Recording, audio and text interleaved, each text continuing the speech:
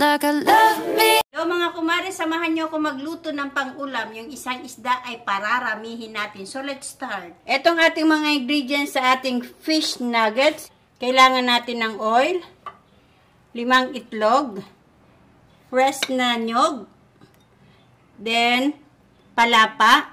Ang sangkap ng palapa is siling, mahalang, then white scallion, then ginger, asin. Kailangan natin ng maliliit na gayat ng sibuyas. Then, sibuyas daunan, seasoning, at saka bell pepper. And then, syempre, kailangan natin ng grilled fish. So, gawin na natin ang pisa sa sa Maranao or fish nuggets. Tatanggalin ko yung mga tinik na at saka yung ulo niya. Ito, kapag ganito, hindi ko tinatapon. Bali, ang ginagawa ko, pinang, pinang lalagay ko sa mga gulay. Langka ba? Masarap to sa langka. So, tanggalin natin. Then, set aside natin yung kanyang ulo. And then, lagay natin dyan. Ihimayin natin yan ng maliliit. Yan tinik. Siyempre, tatapon na yan.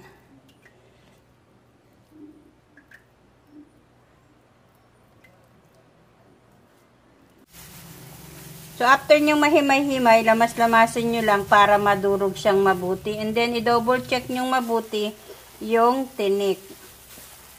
Ang kagandahan nito, hindi matitinik yung ating mga anak. Kain na lang tayo ng kain. Ilagyan ko siya ng isang buong nyog. 20 pesos ito.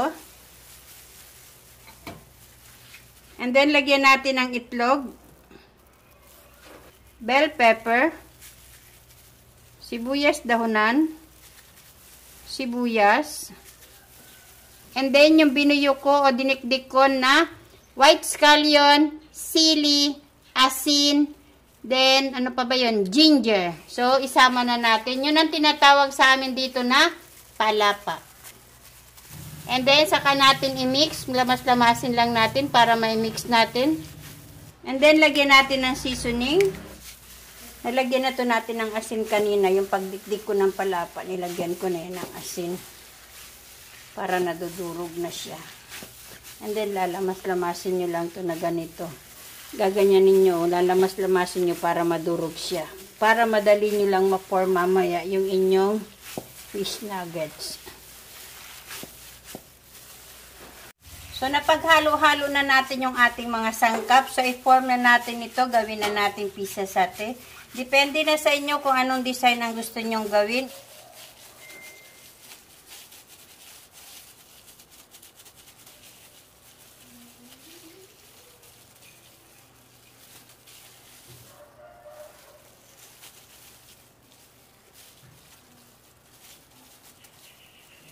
So, tatapusin ko lang lahat and then, and then balikan nyo lang ako. Kaya medyo mahaba-haba ang perm na ito if ever natatapusin natin hanggang sa video.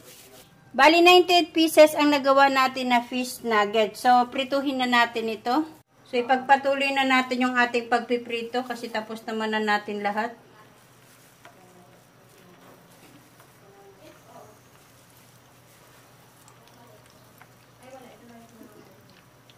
Bango. Kung nandito lang kayo, maaamoy nyo super, super bango. So, hintayin lang natin itong mag-brown. So, baliktarin na natin. Pag nag-brown na sa kanya, babaligtarin. Huwag niyong gagalawin kapag lagay niyo sa mantika kasi madudurog yan. So, ganyan lang. So, tanggalin na natin. Okay na to.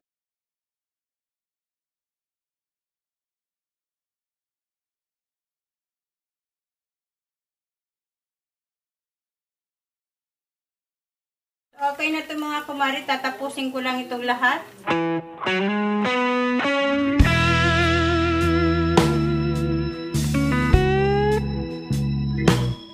Ito na mga kumari, yung isang grilled na isda na ginawa ko.